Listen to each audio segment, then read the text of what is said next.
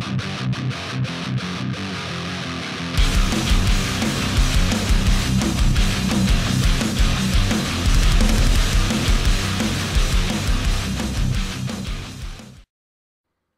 guys, this is Joe here from Ru-Fi-Oh. Welcome to the channel. If this is your first time here, welcome aboard. You should definitely consider hitting subscribe and the notification bell before you go any further and realise how fucking garbage this content is. And if this is not your first time on the channel, you may well be acquainted with my pet pug who's decided to just come and trash the entire fucking room on his way in. So if you do hear any crazy noises throughout the video, it's a good possibility it's his fault. Bertie, what are you doing, man? What are you doing?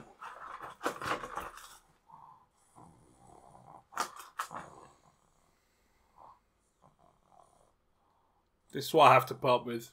But in either case, thank you very much for coming along. I do appreciate you being here. For today's video, we are taking a look at Trickstar. That's right, that deck that has been long since forgotten, and many people are very happy that that is the case. However, Trickstar is still a really fun deck to play, and it's actually still pretty budget friendly, all things considered. Now, this particular build is less so, but for the most part, you can still pick up the majority of the deck relatively cheap. The downshot, of course, to all of this is the fact that you've only got one light stage, which is a huge issue for the deck, but it doesn't really matter. In this particular build, we're looking to be particularly ignorant of what our opponent wants to do. We are focusing on using Dragoon. Now, with the exception of the Dragoon package, the cards that are in here are relatively budget friendly as discussed, and the ones that aren't can certainly be replaced with ones that are.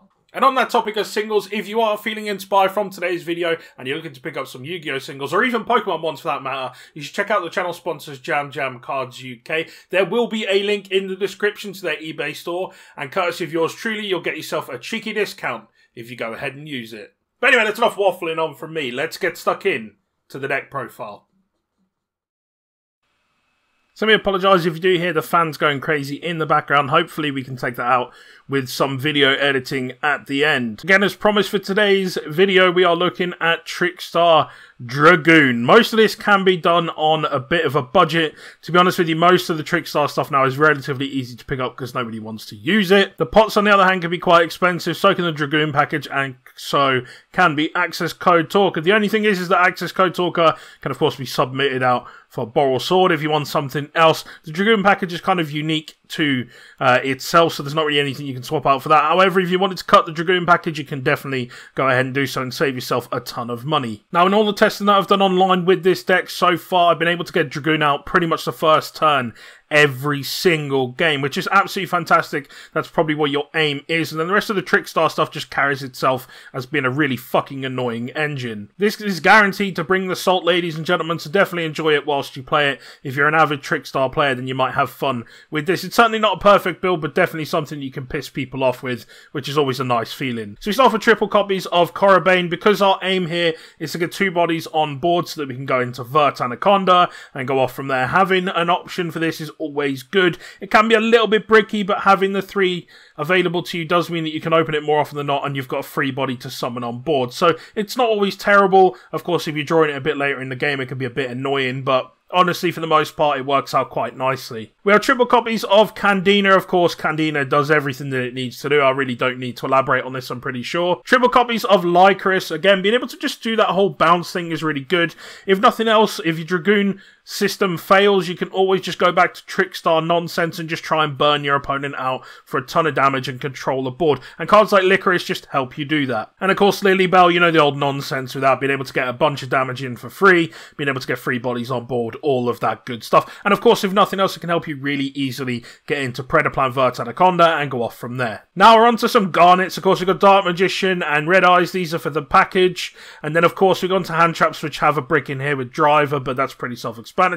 Of course, that is needed for your Gammas. We also have triple copies of Droll and Lock Bird. I think it's too strong not to play in Trickstar now, to be quite honest with you. The whole Droll combo is just absolute bullshit with Reincarnation, and I think you have to take advantage of it if you're going to play this deck. And triple copies of Ash Blossom and Joyous Spring. This deck can suffer quite badly to hand traps. Uh, Ash Blossom can obviously deal with the likes of Gamma, so that is something to keep in mind. But it also means that you can hit back at your opponent and go from there. If you wanted to, you can omit some of the hand traps and go for a more trap heavy lineup. I just quite like the build that we've got here. We then move on to our field spells. We've got three different ones in here. So we start off with one light stage. Of course, it is at one, so that is exactly what we're running. If we could run more, of course, we would be playing more. A single copy of live stage just for token generation is always nice, but the fact that it can get trick stars back into your hand from the grave is a little bit of a decent option. It's not insane, but it definitely helps the deck go round a little bit. And then we have the classic Mystic Mine because it's a free win. This card genuinely does win games for free.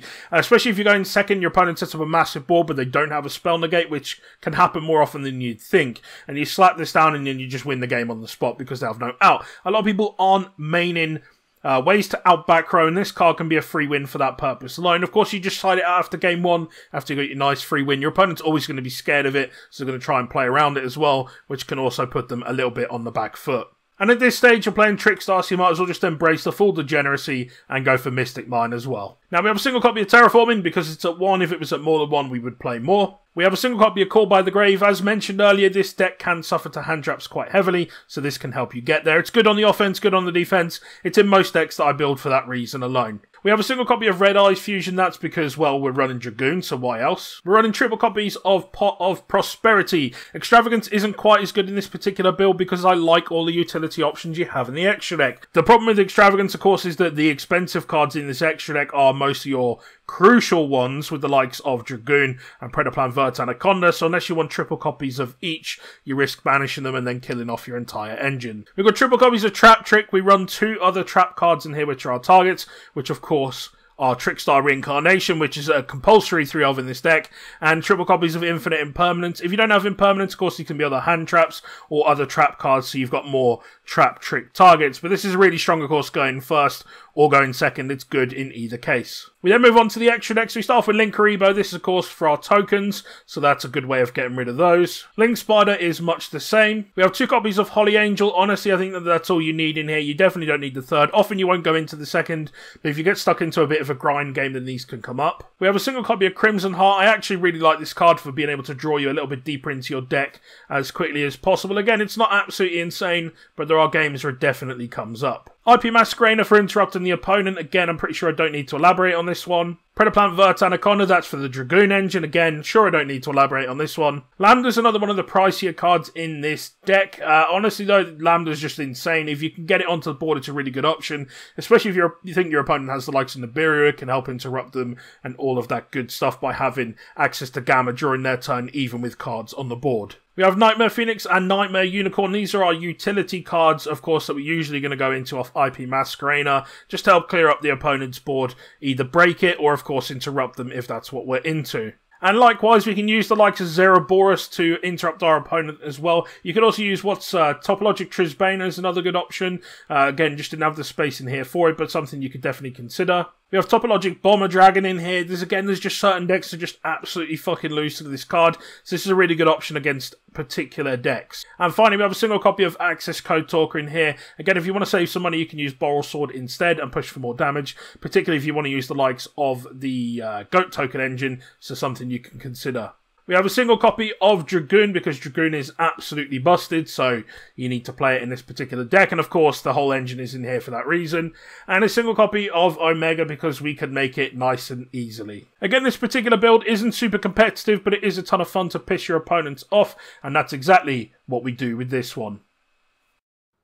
And that, comrades, is all for today's video. Thank you very much for making it this far into the video. You're one of the few who does. If you made it this far, you should possibly consider seeking some professional help. But hopefully, by virtue of the fact that you made it this far into the video, you've liked it enough to hit subscribe or couldn't possibly look away. In either of those cases, thank you very much for making it this far into the video. I do genuinely appreciate it. Now, it's worth noting that this isn't the only kind of content that we do on the channel. We do how to play videos on top of the deck profiles that we're doing largely at the moment due to the whole thing that's going on in the world, and we can't get to physical events, but I don't want to get demonetized by talking about it too much. On top of that, we do the likes of combo tutorials, locals vlogs, and event vlogs when those are back on as well. And I'm always open to suggestions, so if there are things that you would like to see on the channel, definitely reach out and let me know.